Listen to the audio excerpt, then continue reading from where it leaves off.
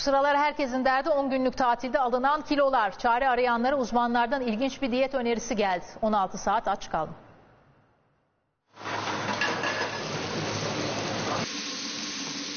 14 gün yedim valla. 2 kilo yakın aldım. tatlılar falan filan derken ister istemez biraz kilo aldık. Bayram tatili yediriyor. Sürekli teklif, sürekli ikram. Tatilde kavurmalar, bayram kahvaltıları, ikramlar, tatlılar derken hızla kiloları aldık. Bakalım o hızla aldığımız kilolardan hızla nasıl kurtulacağız? bir hafta içerisinde neredeyse minimum bir 1 kilo maksimum bir 2,5-3 kiloluk artışlar oldu. Evet biraz aldık. Tatlılardan herhalde. Bu hafta tavuk, balık, kırmızı et gibi köfte gibi proteinleri biraz hayatımızdan çıkaralım. Yağlı karbonhidratları da bir keselim.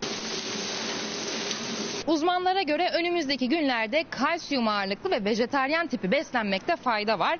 Nasıl olacak o derseniz işte bayram kilolarından kurtaran diyet listesi. Sabahleyin bir bardak yoğurt ya da süt, içerisine 2 yemek kaşığı yulaf, bir porsiyon meyve, istediğiniz meyve olabilir bu. Öğlenleyin bir dilim ekmek, yanında 4-5 yemek kaşığı zeytinyağlı bir sebze yemeği, yanına bir salata bir de cacık koyuyoruz. İkindi de acıktığımızda bir fincan sütlü kahve, yanına bir tane meyve, iki tane ceviz koyuyoruz.